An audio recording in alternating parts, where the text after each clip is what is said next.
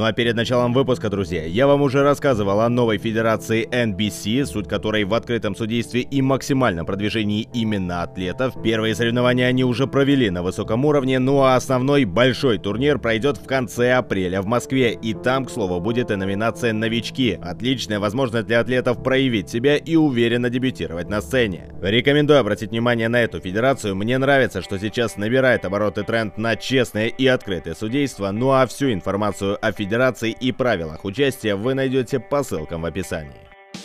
Мощные предплечья – это верный признак действительно крепкого мужчины. Пресс, грудные и бицепсы – это все, конечно, здорово, но когда предплечья развиты, когда они на месте, это говорит о многом. И сегодня, друзья, я предлагаю поговорить об обладателях самых мощных и запоминающихся предплечий в истории бодибилдинга, а после призываю вас поделиться в комментариях, у кого же все-таки лучшие предплечья среди культуристов.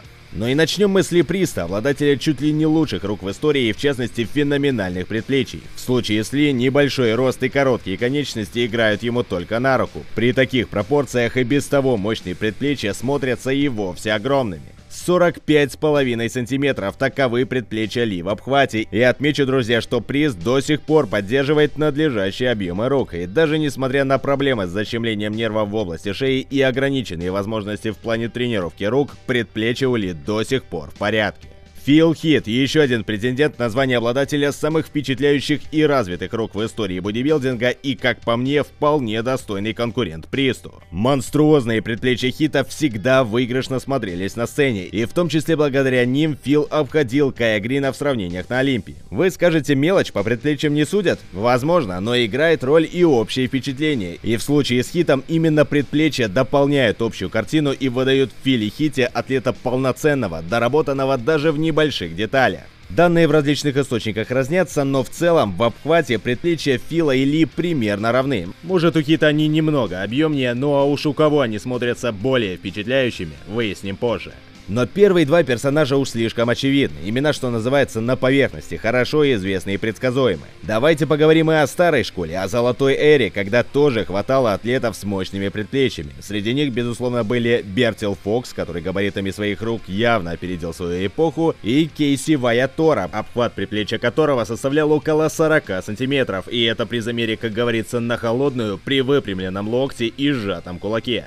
Также Кейси известен как тот самый культурист из колорадского эксперимента, в ходе которого в 1973 году Ваятор якобы всего за месяц набрал 28 килограммов мышц, то есть примерно по килограмму в день. И это при тренировках три раза в неделю всего по 30 с небольшим минут и без применения допинга. Звучит может и не очень правдоподобно, хотя есть немало доказательств, но это тема для отдельного разговора, а может даже и выпуска, если вам будет интересно. По теме же сегодняшнего материала, предплечья у Кейси были действительно крепкие. Еще Арнольд писал, мол, только посмотрите на предплечья Ваятора. Мышцы на них равномерно распределены от локтя и почти до самой кисти, что существенно меняет восприятие его поз и внешний вид рук. Но, друзья, даже предплечья Кейси терялись на фоне чуть ли не лучших и, вероятно, самых больших предплечий за всю историю культуризма. Норвежский культурист Гонор Росба, который выступал в 70-х и в начале 80-х, многие наверняка о нем даже и не слышали, мог похвастаться предплечьями по разным данным от 50,5 до 52 сантиметров в обхвате.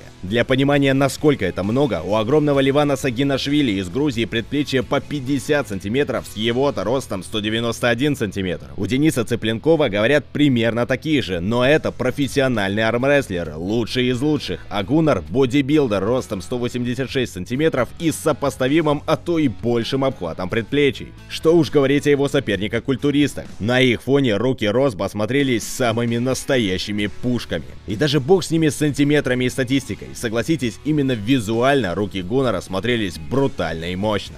Ну и напоследок, обладатель предплечий поменьше, чем у Гуннера, 47 сантиметров в обхвате, но зато об этом парни слышали все, и эти предплечья ты, мой подписчик, узнаешь из тысячи. Конечно, это Фрэнк Магрет и его огромные и чертовски венозные руки. О нем, к слову, подписчики давно просили отдельный выпуск, и если вы за, напишите об этом в комментариях, и я пойму, насколько этот материал востребован. Вы наверняка смотрели множество видео с Магретом, возможно, плакаты с Фрэнком висят у вас в зале, в моем, к слову, в свое время висели. Вероятно даже, что именно подобные снимки когда-то мотивировали вас уделять предплечьям больше времени и усилий, чтобы достойно смотреться, действуя по примеру лучше.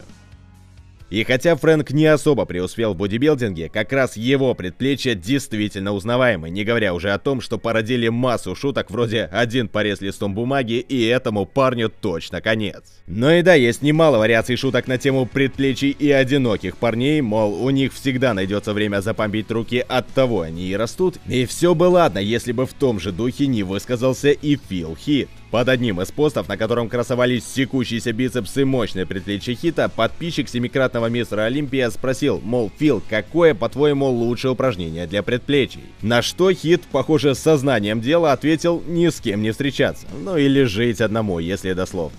Шутка это или нет, кто знает, но в комментариях нам точно есть что обсудить. Друзья, напишите под видео, у кого, по вашему мнению, лучшие предплечья именно в истории бодибилдинга. Потому что понятное дело, что есть и Олег Жох, и Джефф Тейп, и многие другие, поэтому давайте сосредоточимся в этот раз именно на культуристах. Может кто выделит Винклара, Менсера или других бодибилдеров, того же Дориана Йейтса с его огромными руками и действительно очень мощными предплечьями. Я отдельно о нем не сказал, но именно Дориан в свое время действительно впечатлял. Ну а уже после, может в отдельном выпуске определим лучшие предплечья в принципе. Ну и плюс, народ, жду ваши соображения, насколько важны мощные предплечья, может кто не согласен с этим утверждением и кто как их предпочитает тренировать. Если у кого есть толковые шутки про предплечье, также оставляйте их в комментариях. Ну и под таким выпуском с мужским характером и стоящей темой для обсуждения, само собой жду ваши брутальные лайки, также подписывайтесь на канал и бейте в колокол, чтобы не пропустить новые видео. Это был проект GeoB Channel, спасибо что смотрели, не прощаюсь.